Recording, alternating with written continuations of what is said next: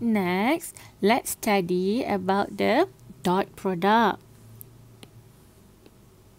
So what is a dot product? A dot product of vectors A and B can be defined by A dot B is equal to AB cos theta. So this is, we have uh, two vector. We have vector A and vector B here. So one vector A dot vector B, it can determine the angle in between two vector. So its angle theta is the smallest angle between the two vectors and is always in the range of 0 degree to 100 degree. And then the result of the dot product is a scalar. So scalar means that it's only give us number is either positive or negative. And then the units of the dot product will be the product of the units of the vector A or vector B. So how we can determine uh, this angle? Okay, this is because now we have that a dot B is equal to magnitude of A multiply magnitude of B cos theta, right? So now we want to determine the theta. So definitely theta is become shift cos A dot B divided by, here like this, divided by magnitude A multiply magnitude B. So this is how we can determine the angle in between two vectors. So how we want to apply this dot product. So for this example, we have, here we have beam. So we have beam here. So this beam is a, let's say this beam is a, a vector B and then this cable is a vector A. So now we want to determine the angle in between these two vectors. So we can apply the dot product. Alright. Now look at here. Okay, this is how uh, it can simplify. Okay, when we have A dot B, when we have vector A dot B, it can be is equal then so let's say this is the component for the vector A. So we have AXI plus AYJ plus AZK. And then we have a component for vector B. So we have BXI plus BYJ and BZK here. So now uh, after we dot, after we multiply A dot B, so we can simplify like this. So A dot B is only this one. AX BX plus AY BY plus AZ BZ means that uh, we just take off the number in this vector of the component X with the co component BX. No need the Cartesian anymore. It is because this one when the vector i dot j is become 0 and then when the vector dot itself let's say i dot i j dot j k dot j uh, k dot k is become 1 so that is why we can simplify like this. Let's take a look what is the applications of dot product. Okay. So we know that the dot product can determine the angle in between two vectors. So this is the angle. The angle theta. So we can have, we can use this formula. So if you have two vector, you can have the A dot B. You, you get the magnitude A dot B and then you divide by the uh, A magnitude and B magnitude. Okay. And then uh, you must remember that the range of the angle is between 0 to 1, 180 degree. Okay, so it means that, so let's see here. So here we have, so here we have uh, vector B and then here we have vector A. So now, this is theta 1. Okay, next we have vector C here. So this C we going going to have theta 2. Okay, next. Next we have vector D here. So what is theta D? So theta D is 90 degree here. Okay, next. So next we have vector E here. So when we have vector E here, then we can have um, theta, we can have theta 3. Okay, so look what happened. When we have theta is a 90 degree here, so it means that vector A is perpendicular to vector B. Ah, let's say here, this one. Okay, so let's say we can change the D to become A. Uh, so this one is A, this one is B. So when the theta is 90 degree, it means that vector A is perpendicular to B or vector is perpendicular to each other. Then that is why A dot B is equal to 0 because cos 0, uh, cos 90 is 0. Right, cos 90 degree is 0. Okay. So look at this figure. Okay, this figure, the components of vector parallel and perpendicular to a line. So let's say uh, this is the line AA. We just name it A, A line.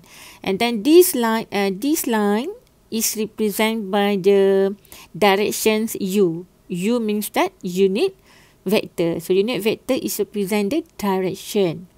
So, this is the component A, the vector A.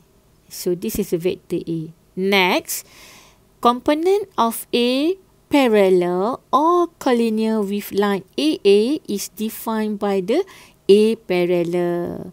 So, uh, when this vector is resolved to this line, we call it as a A parallel. Okay, now, or we can uh, we can also can uh, okay projections of a onto the line okay so when when we projection the vector a into this line so we can have the a vector a parallel so the vector a parallel is equal to a cos theta. So a cos theta because we resolve this one with this angle theta.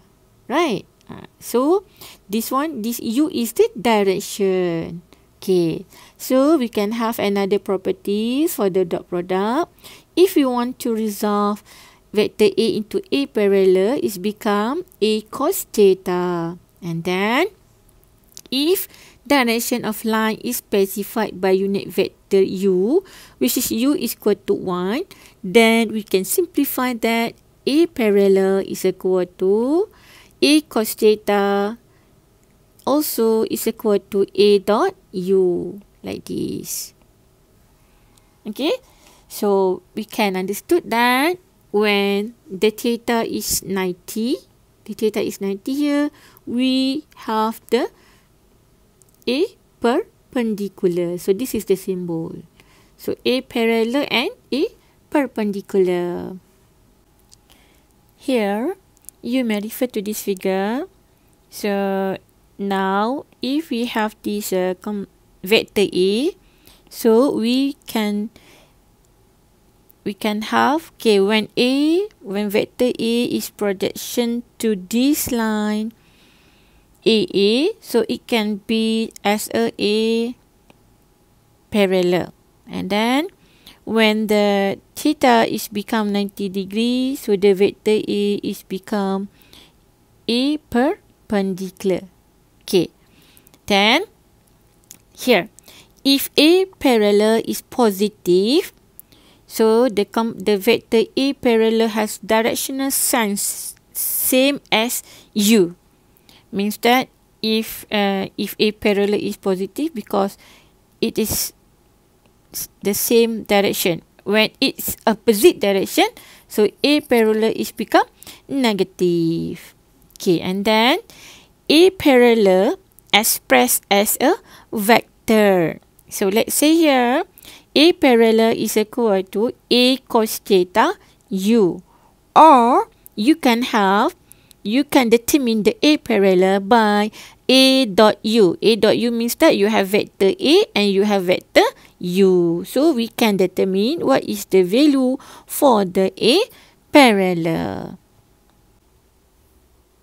Next applications of the dot product is to determine the component of A perpendicular to the line AA. Right. So now, what is the meanings of this? So the vector A is equal to A parallel plus A perpendicular. So now you may refer to this figure. So this is the line AA. Okay, so this is the component. No, this is the vector A. So this is the vector A. So the vector A, if you sketch the parallel here, then the component is the A parallel and here is the A perpendicular. So now, if we already established the A parallel and we know the vector A, then we can have for the A perpendicular. How? Because A perpendicular can be determined by subtractions of vector A. So A perpendicular is equal to vector A minus A parallel. Or we can have that if we already establish, if we already define what is the theta, then we can use this theta to determine the value for the A perpendicular which is magnitude of vector A sine theta. So this is another applications of the dot product. Here is the law of operations of dot product. Previous one, we already know the law for the uh, additional law for the subtraction, right? So now, what is the law for the dot product? So number one, commutative law. So here, you can have A dot B is equal to B dot A. And number two, multiplication by scalar. So if we have scalar, scalar if we have any numbers, one, two, three, like that, right? So the scalar, uh, let's say uh, scalar can multiply A dot B is equal to, you can have that scalar multiply with vector A dot B or also it can have like D A dot scalar multiply B is equal to A dot B multiply by scalar. And then the last one, distribution law. Distribution law, uh, you can do that uh, A dot summation of B plus D is equal to A dot B plus A dot D. Okay, next, this is the how we can simplify uh, the dot product. Okay, so dot product of Cartesian unit vector. This is the example. If we dot uh, the dot product by itself, for example, i dot i. So i dot i is equal to 1 multiply 1 cos 0. So it's equal to 1. So that is why we can simplify if we expand uh, the vector i dot i is become 1. And then here is i dot j. So i dot j is equal to 1 multiply 1 cos 90. So 1 cos 90 is 0. So that is why it's become 0 here. And then similarly for others. So here, that is how the dot product of two vectors A dot B is become like this. This is the n one. So A dot B. Because we can simplify, this is become 1, this is become 0, 0, 0, 1, 0, 0, 0, and then 1. So, this is the last answer. Now, let's solve example 2.15. The force are acting on the hook at point A. determine the angle between the force and the line AO and the magnitude of the projections of force along the line AO. Okay, so first, the question asks to determine the angle between the force and the line AO. So here, number one, you need to determine the angles. And number two, the magnitude of the projection force along the line AO. So here, let's say, this is what we can say that this is the F parallel. Okay, you refer to this figure. So this figure, this is the point A and this is the force. Okay, now the force is given in the Cartesian already and with the unit kilonewton. So we need to get this angle. So now this is the line AO. So this line AO, you can represent the line AO as a RAO. Okay, so we need to substitute this uh, two vector inside this formula because this is this is angle right so you can write like this theta is equal to shift cos so now you need to obtain what is the vector what is the value of the f dot RAO. And then what is the value of the magnitude of F? And then you need to multiply with the magnitude of RAO. Then you can determine what is the angle for this question. Alright. Next, so you can see here. So here is the F. So now the question is what is the magnitude of FAO? So now that is why this is the F parallel. So here.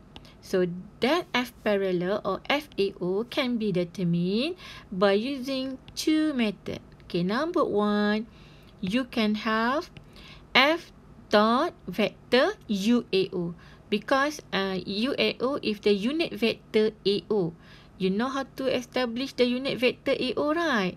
Okay, next, the second method, you can have that second method because you already know what is the theta. Then, you can have that the magnitude of F cos theta. Alright? So, now, what is the first step? So, definitely, the first step is to establish the position vector. Now we want to determine the position vector of RAO. So here RAO. So how to determine the position vector RAO? So RAO, you need to define what is the point O here and what is the coordinate A here. So O, you can see O is already at the origin. So O here is 0, 0, 0, right? And then what is A here? So here A can be, so now A is what? In X. So A in X is what? 1 at 1 meter. So A is uh, 1 and then here is a negative 2 in Y and then 2 in Z positive. So remember the right handed. Okay. So now after we have the coordinate A and O, So you can subtract that O minus A. Right. So you have O minus A. So you can have what? You have you have 0 minus 1. Right. So you have 0 minus 1. I plus 0 minus negative 2j plus 0 minus 2k. So, RAO is equal to negative 1i plus 2j minus 2k. So, what is the unit? The unit is in meter. So, this is the RAO. Okay. So, now, we understood that the angle, so one now we want to determine the angle between the force, right? So now we have a dot. So we have, we need to multiply the dot product here. So what is the dot product here? So we have F dot RAO. So now this is the F. So now we need to get what is the F dot RAO. So still remember, right? So what is this value? So you need to have, let's say here, you need to multiply the, here you have negative 6 with the negative 1 plus 9, right? You have 9 and 2. And then the other one is 3 multiply negative 2. So what is this value? because we want to substitute in the formula angle here. Go shift here. Uh, so what is this value? Because it is scalar, right? And then you need to determine what is this magnitude. What is the magnitude of RAO here? And then what is the magnitude for the F here? So that magnitude you can uh, multiply here. Okay, divide and multiply here. So this is the magnitude for the F and this is the magnitude for the R A O. So when you substitute everything here, then we can solve for the theta. Okay, next we want to get what is the F parallel here, which is the F is projections to the line AO. So F parallel here. So you can, uh, first method, you can have that vector F dot with the unit vector. So why why we need to use the unit vector? Because we need to get what is this direction. So direction is represented by the unit vector A O. So how to determine the unit vector UAO? This is the unit vector the unit vector UAO is equal to the vector, the position vector RAO divided by its magnitude. Sorry. This one.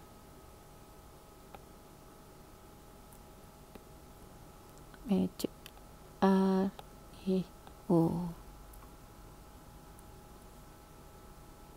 So here is the answer. So here you can substitute. So here is the answer. So after you substitute okay.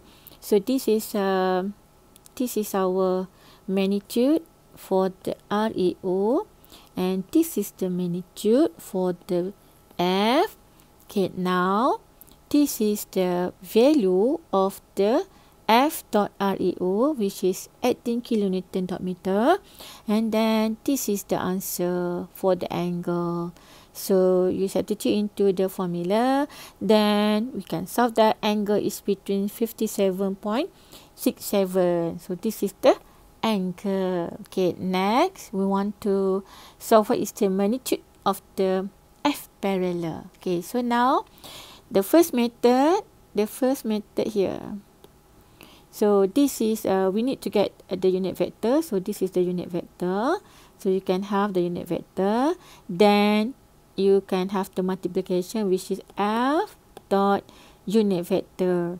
So f dot unit vector. So you can get uh, f parallel or f projection to line AO is equal to 6 kilonewton. Or the second method, you can have that f cos theta. So the magnitude of s multiply cos theta. So we already established what is the cos theta, right?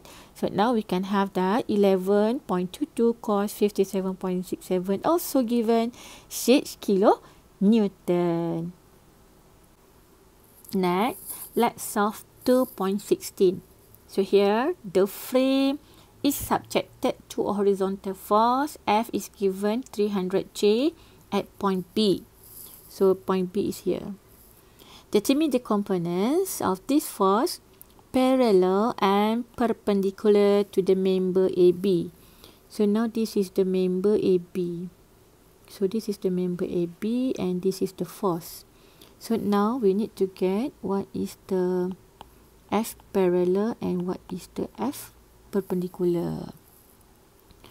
So now if we if if sketch here uh, it become like this. So this is the parallel one. So this is the parallel F parallel and this is the F. This is the F perpendicular. like So how to solve that? Right. So now we understood that uh, based on the uh, based on the dot product. So when we have the component, so F So F parallel is equal to, we have to make that right. So first we can have the F chart cos theta, right? Or you can have that F chart U. A. B, right? Okay, here is not dot, here is the here is multiply. Okay. So this is how we can determine the uh, F parallel.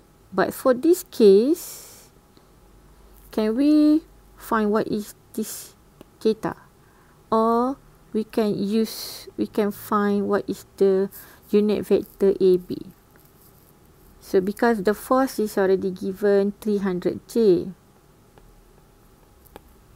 right. Okay. So how to so let's say we want to use this one unit vector. So what is the unit vector? So unit vector is equal to position vector RAB divided by its magnitude RAB so you need to determine what is this then you can have the dot product here. So to determine the F parallel. Okay. Next, how to determine the F perpendicular? This one. So F perpendicular. Okay, F perpendicular can be determined by the F minus with the F parallel. Right. So you must remember this F parallel need to be in Cartesian kan because we understood that here f parallel here okay f okay f because here f parallel here you will get in scalar right in scalar so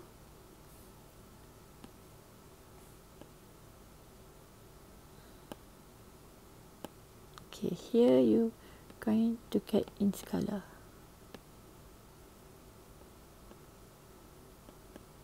Okay. So here you will get the magnitude of the parallel in scalar. So that is why here when we when we want to determine the uh, f perpendicular here because our our f here is 300j right. Uh, so that is why you need to express the f parallel that you get here to be in Cartesian. So how? So how we express the magnitude force in Cartesian? As usual, you need to use the unit vector UAB.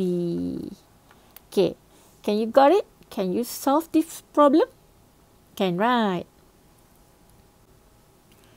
Here, we need to solve what is the position vector and unit vector. So now, we want to get what is the UAB here UAB. So we want to determine the unit vector UAB. We need to determine what is the RAB here. So as usual, we need to determine what is the point A and what is the point B here. So A is 0, 0, 0. And then B is what? 2, 6 and 3. And then how to determine the RAB? RAB is B minus A. then you can have that RAB is equal to 2i plus 6j plus 3k. And then to determine the unit vector, UAB is equal to position vector RAB divided by its magnitude. So this is the magnitude. So this is the answer for the UAB, the unit vector for the AB. So now we want to determine what is the F parallel. So F parallel here is equal F dot UAB here. So now you can have the dot here. So this is the 300J is given and this is the unit vector. Then you can solve. So you can have the F parallel magnitude is 250, 257.1 Newton. So that is the part 1. Okay, part 2 we need to solve what is the F perpendicular. Okay. So here we need to change. Okay, now um, the F parallel. So the F parallel here is vector F minus F. No, this is the F perpendicular. So this is the F parallel. So F perpendicular is equal to F minus F parallel. But just now, we only have the scalar here. So this is the F parallel. So now, this scalar need to express in Cartesian. So that is why we need to multiply with the unit vector A, B. So you can have that F parallel in Cartesian is equal like this. So now, then we can uh, solve the mathematical, which is the F perpendicular is equal to 300J minus 733.5i plus 220J plus 110K. So we have the vector for the F perpendicular component is equal like this. Then you can check with the next. So you can check the magnitude uh, of the F perpendicular from the uh, theorem of Pythagoras. So here you can have that uh, the magnitude of the F parallel is equal to square root F explanation minus F parallel here. So this is the magnitude of F parallel and this is the uh, magnitude of F. So you can have that the magnitude for the F perpendicular is equal to 155 Newton. You got it? Next, let's solve the last example, 2.17. The pipe is subjected to force 800 Newton at point P. So this is determine the angle, determine the angle between F and pipe segment BA. Okay, and then magnitude of the component of force which are parallel and perpendicular to the member BA. So this is the member BA. So so so this is the first. So now we need to so let's say this is so this is the perpendicular to this member and this is the parallel to the member BA. So now we need first, first we need to determine what is this theta. So based on the dot product, theta is given. So the first one you can have that theta is given by shift cos.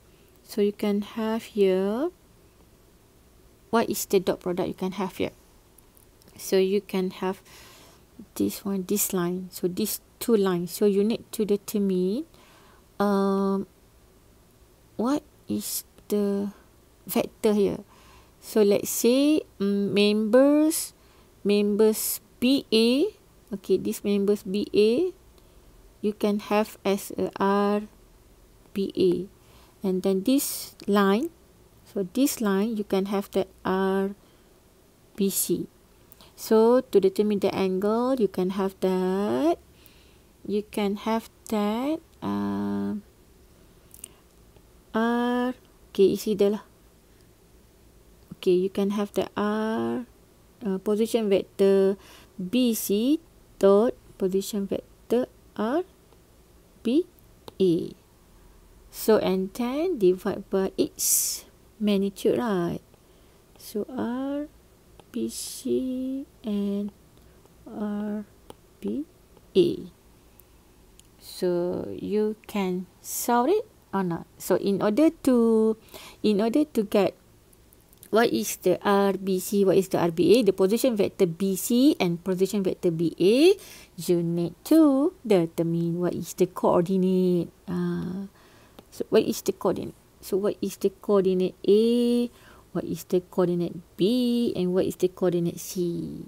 Because you want to determine what is the R, the position vector BC and position vector BA. What is this? Right. Hmm. So as usual, what is A? So A, the coordinate A is what? So A is uh, X is 0, Y is 1 and Z is 0. And then B, what is the coordinate B? So B, X is uh, X is 2, Y, Y is 3, and then Z is downward is negative 1. And then how about C? What is the coordinate C?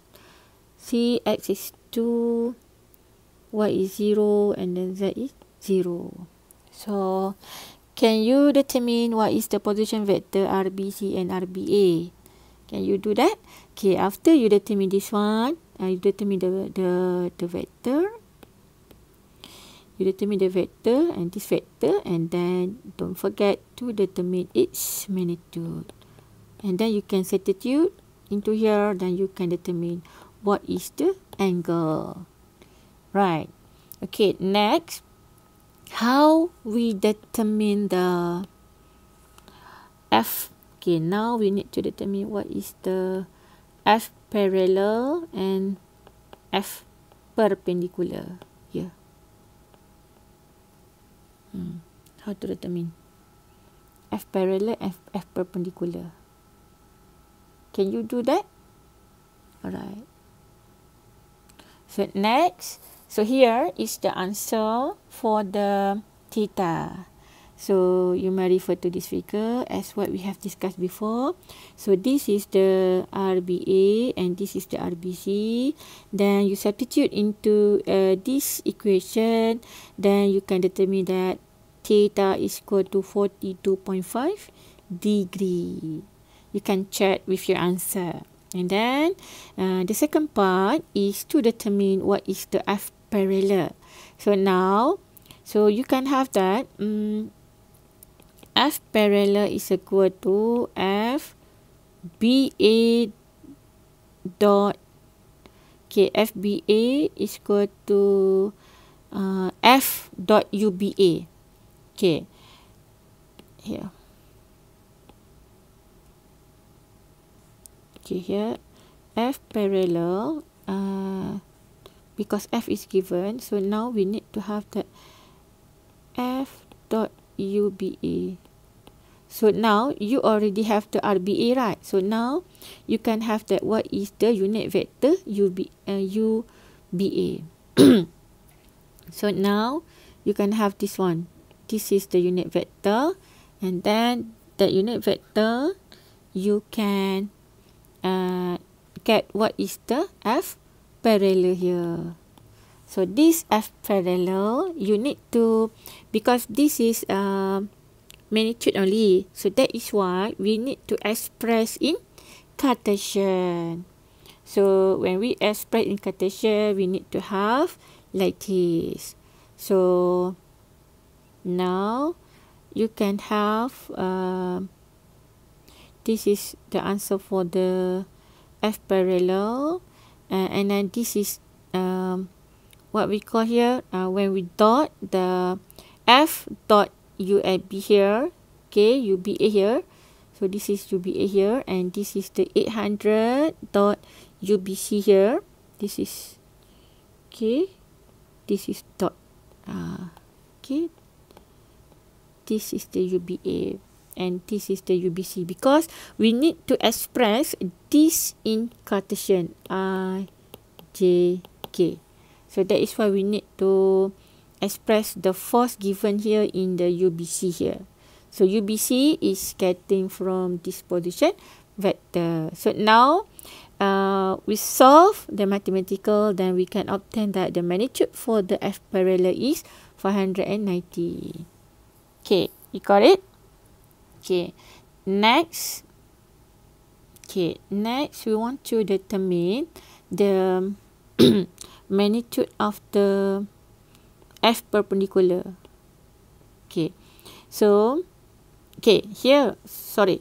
So here you can check uh, with the trigonometric, uh, with the answer here because uh, we already define what is the theta, right? So from this theta, because we have the magnitude, so also we can get what is the magnitude for the F parallel here.